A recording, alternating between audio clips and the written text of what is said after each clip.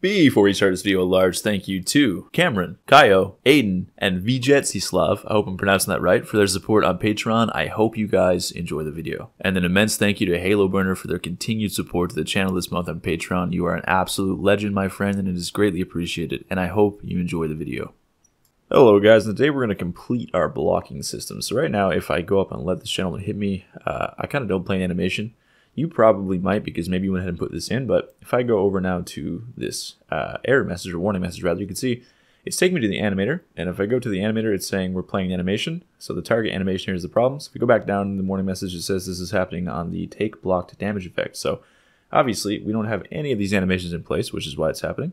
So I'm going to go ahead now and drop in an animation for all of these different uh, damage types while blocking. So block types, ping, medium, light, heavy, and colossal is stun in this case. So if you guys are using any animation set by us, it will include all the blocking animations. If you're using animations uh, anywhere else on the web or you made them yourself, go ahead and drop them in.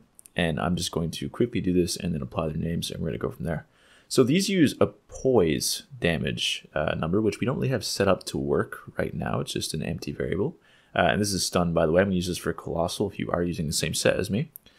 But we're going to set up poise so it will at least work right now for calculating how much uh, or what blocking animation you're going to play. We're not going to go ahead and implement the full poise system in this video. We'll probably do that in the next video since we've already started in this one. Uh, but we're going to get it far enough along so it actually plays a proper blocking animation depending on the intensity of the attack. So let's go ahead and do that. Um, before I do that though, I'm actually going to replace these animations with the straight sword because that's what I'm using as my base controller and then I'll override it quickly using the medium shields animator overrider controller. So I'm not going to show you how to do all this again, but just real quick, I'll do a couple real fast. I just added in these blocking animations, so replace heavy with heavy, light with light, medium with medium, etc., etc. And you want to do this in all your weapon controllers whenever you add new animations. Set up the base and then add in the overrides. So there we go. I'm playing a block animation. Right now, though, it's always ping.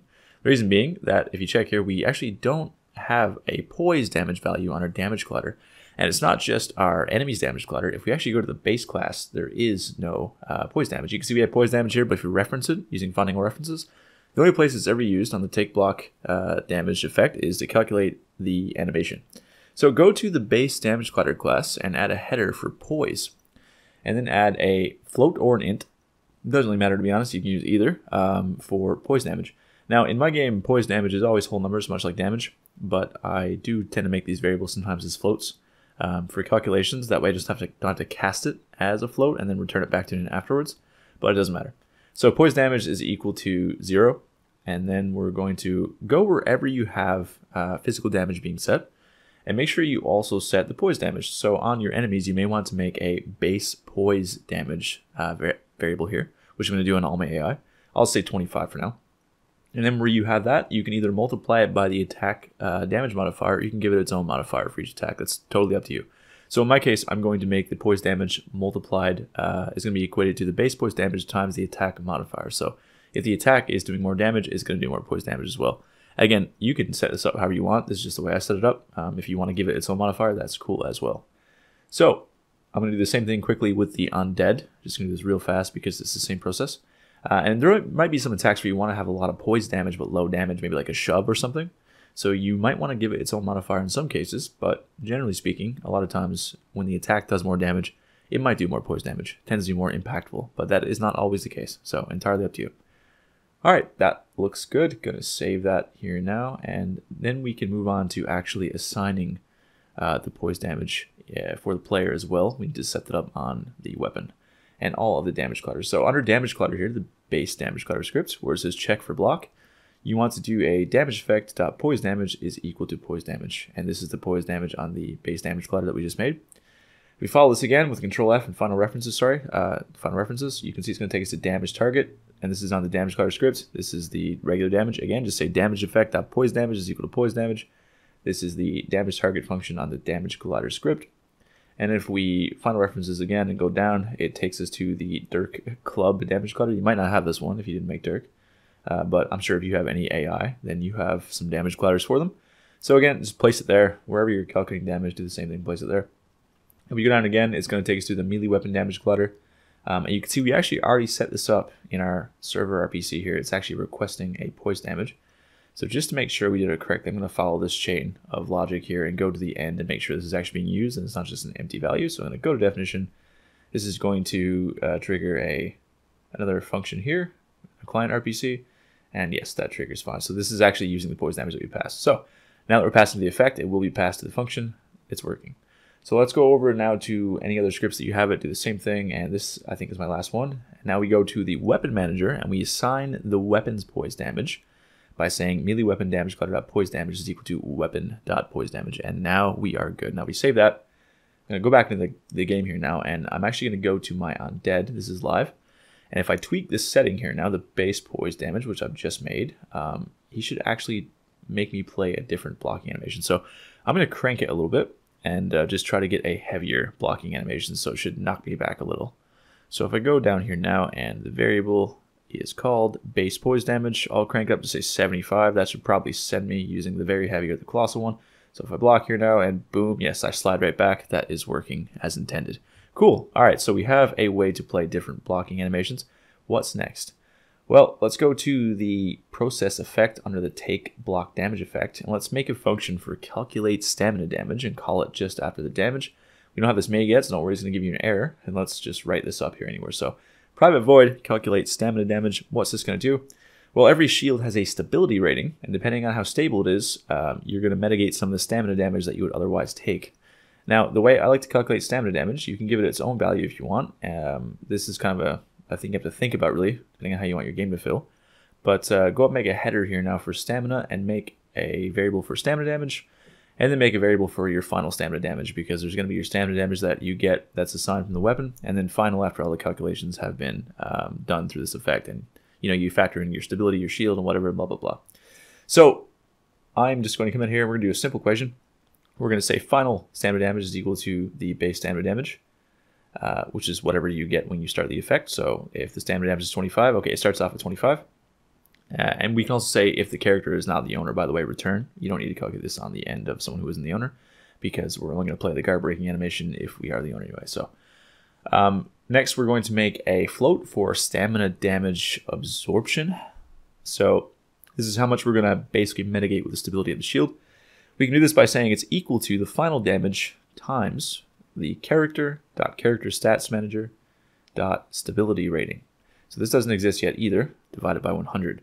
Now remember we were uh, assigned the blocking values when we started blocking. Um, we're also going to assign a stability rating. So if we go to the weapon item here and just, go all the way down, we have a stability variable here. And if you find that, you can see we don't use it yet.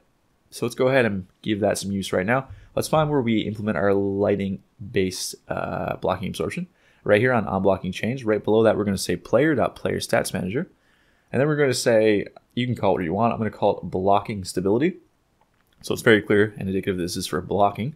We're going to equal that to the player.player combat manager current weapon being used dot stability. So again, the higher this number, the less stamina you will lose during uh, a block action. So if this doesn't exist, so let's go ahead and make that.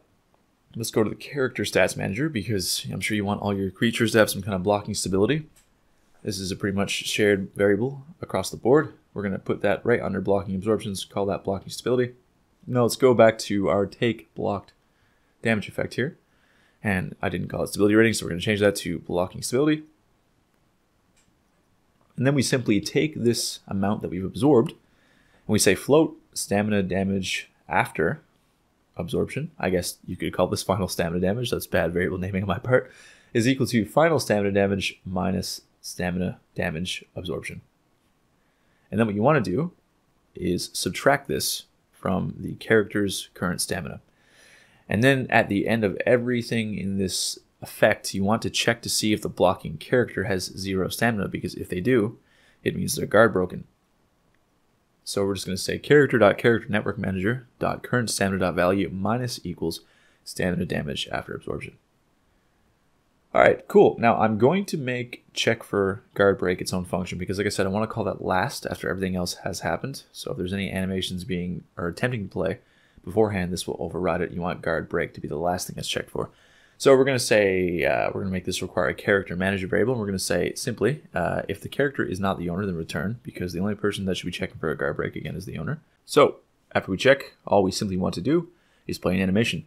So we're going to say if character.characternetworkmanager.current stamina is less than equal to zero, we want to play the guard break animation. And in the future, when we add the ability to riposte, um, this is where you would enable can be riposted as well. But we don't have that right now. So when we get to parrying and riposting, we'll come back and add that in. So we're going to say character character animator manager play target action animation guard break 01 true. All right, so we can also uh, basically disable the blocking here. So we can say character character network manager is equal to false, and then we're good to go, and we can go ahead and drop in that animation. So I'm also going to make a note here. If you want to throw in a sound effect, here is the place to do it. Dark Souls has that cool, and Elden Ring has that cool sound effect that play when you've been guard broken. This is the place you want to insert it if you have a cool sound effect of your own. Actually, uh, you want to insert it before you check for the owner, because that way you will hear the sound effect as a client too, um, because this logic will still run this part of it here. So put that right before you play the animation. I'm just going to make it a comment right now. Uh, if you have the sound effect, go ahead and place it there. All right, I'm going to save this, and I'm going to minimize this now, and jump back to the project, and I have a guard break animation. Again, if you're using any of our animation sets, it, all of them come with a guard break animation, so just go ahead and grab one. Um, and if you find one on the web or you make your own, also just drop it in. If you don't have one right now, that's cool. Drop it in a placeholder, doesn't matter. Uh, if you don't intend to use guard break, well, you don't need this. So I'm going to go ahead, and drop in on the straight sword, and then override it on the medium shield because that's the weapon I want to test with right now. So I'm going to go ahead and do that and just drop that in guard break. I'm going to use O2. And now we can kind of test that and see if it works in the project as well. Um, I'm also going to change the stability of the straight sword to one, uh, just so I can you can really see how different it is, and you can see that it, you will lose more stamina when you're guarding, just to make sure it works. And I'm also going to make sure I call check for guard break here right on the end. So this is the last thing that's kind of checked for. All right, that looks good. I'm going to save that now, and we can go and make sure that our stamina damage is working correctly. Uh, and we can make sure, well, I'm going to find take blocking damage first. I forgot to actually sign the stamina damage. So damage effect dot stamina damage is equal to, um, and I'm going to change the name of that because it should be stamina damage, not base stamina damage right click, rename, not let me do that. Okay, I gotta fill out the variable first. So you could uh, assign this to poise damage, and that's what I like to do because higher impact equals higher stamina damage. That goes well in my mind. But if you want to give it its own variable as well, you can. Uh, I do that in Nephilim, but most of the time it just ends up being the same as the poise damage because again, more impactful attack usually drains more stamina. It takes more to defend against. So I will make a note here, if you really want to give this its own variable across weapons and damage colliders, go for it it definitely has its place. I have had a couple uses out of it in my own game, but generally speaking, um, most of the time, if you're making a game similar to Elden Ring or Dark Souls, then if you have a high poise damage, you want a high stamina damage, so you can kind of use this uh, as a stamina damage. Okay, so I'm going to go in here now and do a block, and you can see I'm guarding against this. I've lost some stamina, like a little bit. Um, it's noticeable. The bar goes down. Now, if I switch my offhand weapon to a straight sword and block, you can see that the stamina damage is going to be, yes, there it is, significantly higher. So I have, I have no stability there. So I'm basically losing all of my stamina uh, guarding an attack. Um, so I'm going to go back over here now again, and I'm just going to uh, change the stamina to 1. There we go. If I have no stamina, you can see the guard break animation plays. Now, before we add sound effects to blocking, there's a great website I will link in the description, um, and it's by GDC here, and they're just giving out a lot of sound effects, like so many, so you can go there and get a bunch of free ones to use in your game, not a problem. So let's go to the weapon item script. I'm going to scroll down where we have whooshes. I'm going to change the header name to sound effects because I'm going to add another array of sound effects here now. So I'm going to copy the variable and change it from whooshes to blocking or blocking sound effects, whatever you want. And this is just basically going to house the sound effects. You can change them for each different weapon type that you have. So I'm just going to call that blocking, save that. I'm going to get out of here now, go to the project, and I'm going to basically take these three impact metal sound effects I have, and I'm going to drag them uh, under here for all my weapons except for unarmed, because you can't block with unarmed anyway.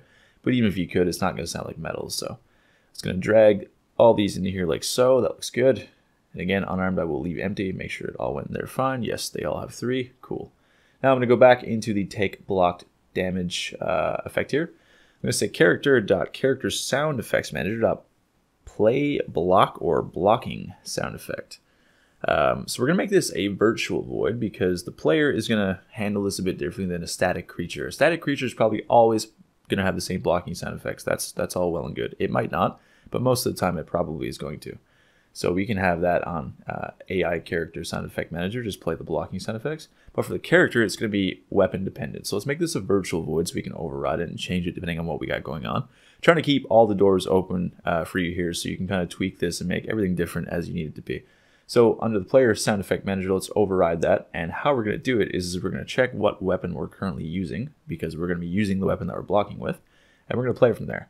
So let's make a player manager variable. Let's override awake. Let's call that awake by saying players equal to get component player manager. And then we're going to simply say um, play sound effect, which is on the base class. And then we're going to open up these uh, brackets here and say world sound effect manager instance dot choose sound effect from array. And we're going to pass the array of the player, player combat manager, current weapon being used, dot blocking sounds, just like that. Cool, that's basically it. Let's save this now. If I go into the game here, and uh, I can hear a sound effect for sure, but you can't, so I will play a clip where you can hear it. Here we go. Let's try it again. There we go. And one more. There you go. Cool. So there you go, guys. You have a blocking system where you have the ability to guard against attacks. You have stamina drain. There's guard breaking. We expand upon it a little bit in the future when we add the riposte, uh, which will be in the parry video. But in the next video, we're going to basically uh, add in our complete poise system. And for those of you who don't know, a poise system is your ability to ignore an attack without being staggered or play a lighter or heavier damage animation upon being hit. It factors into basically the intensity of the hit, much like the intensity of the block. Uh, but the system also works, as I just said, to basically allow you to ignore that stun entirely if your poise is high enough. So Thank you all for joining me again, guys, this weekend. I hope you all have a lovely weekend. A special thank you to my patrons. It is because of each and every one of you I get to keep doing this, and I genuinely appreciate your support. Seriously, the series could not continue without you. So that's it for me, guys. I will see you in the next one.